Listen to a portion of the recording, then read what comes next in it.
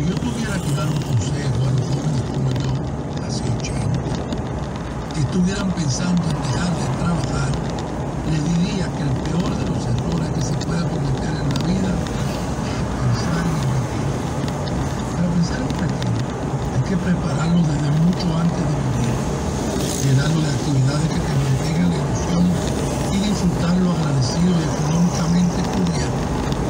Este último detalle es vital. Un viejo sin dinero huele mal. Pero dejar de trabajar o de ser útil solo conduce a la depresión y la falta de amigo que planificó viajar a la hora de dejar de trabajar y se organizó para eso.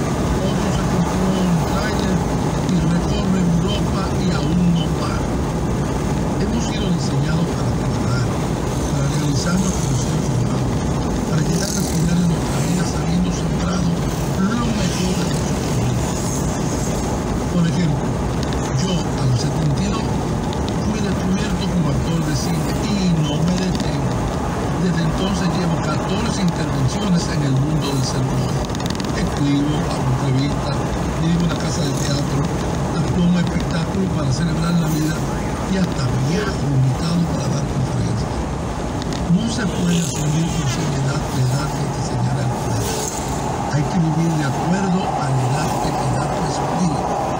Y nuestra obligación es alimentar ese espíritu constantemente para que cuando llegues a este otoño puedas responder adecuadamente.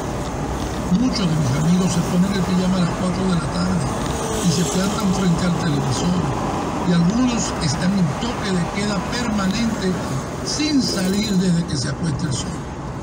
Tienen miedo a la vida y llaman a la muerte con su actitud. Otros ya están muertos y no lo saben. La clave para mantener la alegría es recurrir a nuestro banco de momentos, de emociones, de recuerdos positivos, sin dejar que estos recuerdos nos atrapen en el pasado.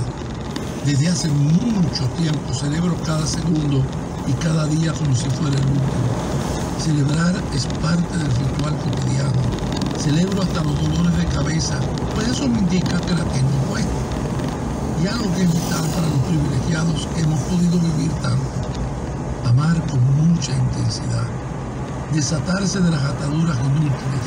Vivir cada día más ligeros de equipaje y dar sin esperar nada. Lloro mucho, ¿eh? Tanto por las alegrías como por las tristezas.